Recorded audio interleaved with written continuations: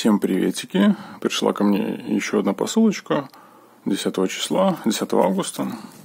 В таком вот почтовом пакетике. Здесь я немножко заклеил лишнее. С той стороны, где все данные написаны, я ничего не заклеивал, поэтому не показываю. Вот. А то, что можно было бы показать описание, его не видно. Оно стерлось там. И мы сейчас распакуем.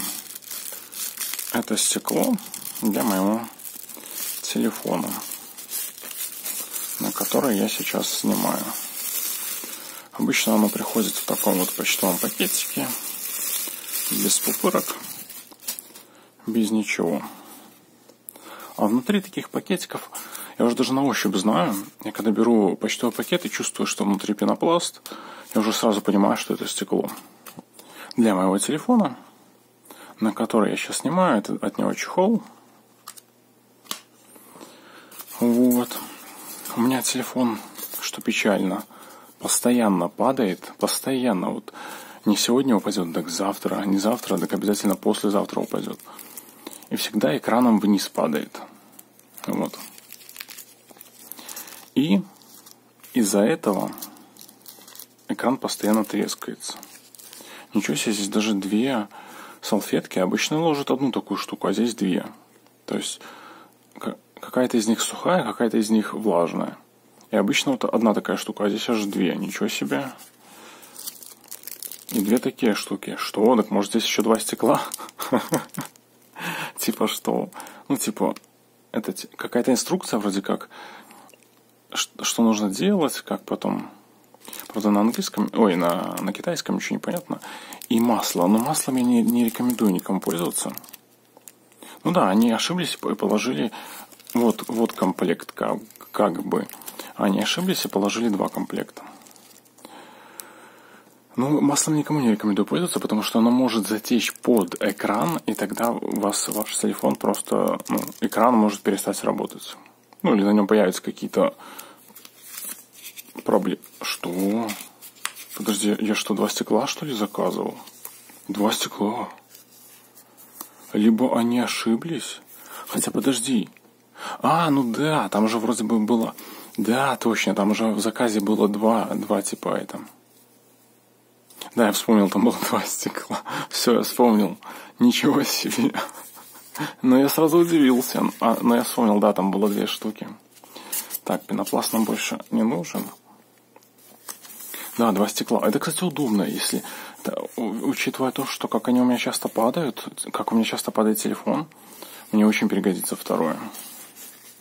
Есть такой пакетик мягенький, и в нем лежит стекло. Хоть и почтовый пакет без пупырки, но сам пенопласт хорошо защищает, плюс в пенопласте мягенький пакетик.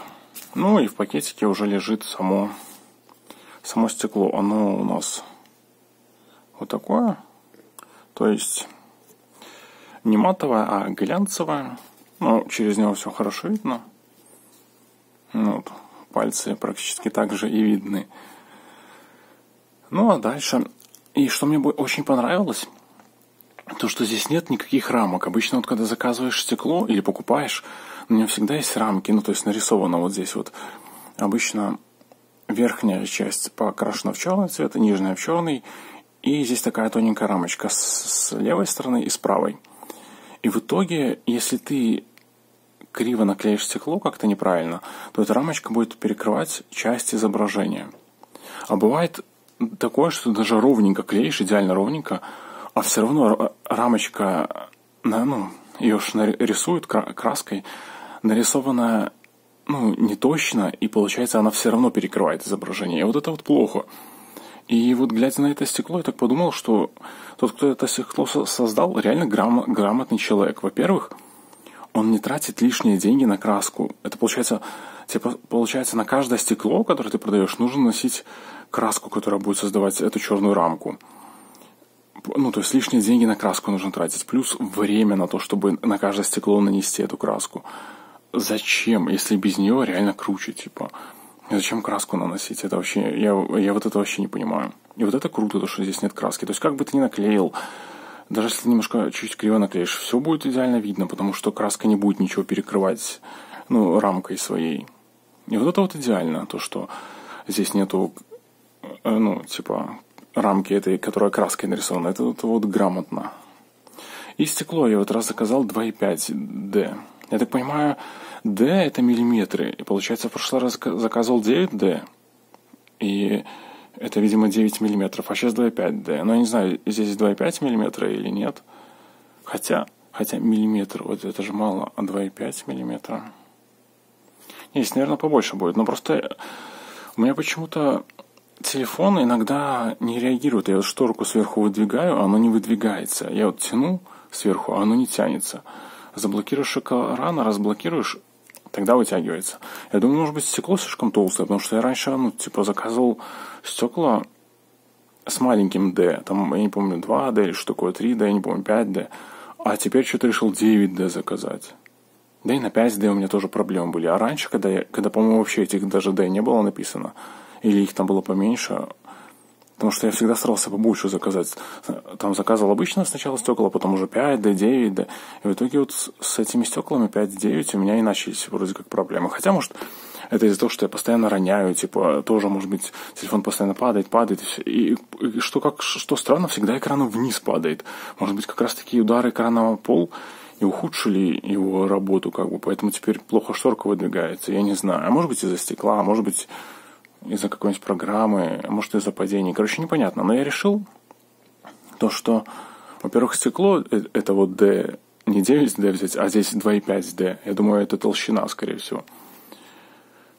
Ну, либо какой-то какая-то какой-то слой защиты или что, и типа раз поменьше должно быть получше. Плюс нету рамок, возможно, эти рамки тоже, которые нарисованы краской, вот эти вот тоже мешают, типа ты, ну, а они, допустим, перекрывают начало, начало экрана краской. И ты уже, получается, берешь не сначала, а где-то там серединки, и типа из-за этого может плохо работать. А вот здесь круто то, что нету этой рамки. Вот. Ну, а дальше буду клеить. И круто то, что их два. То есть, даже если я разобью это, у меня есть второе. Это очень круто, на самом деле. Вот. А обошлись мне эти два стекла в доллар 79. Одно стекло доллар, доллар 29, а два доллар 79. Так я решил, или ты по отдельности два стекла закажешь, это за одно стекло доллар 29 и второй доллар, доллар 29 гру, грубо говоря, 2 доллара 60. А тут доллар 80 за два стекла, ну и решил два взять. Вот. Ну а на этом все. Всем покедова.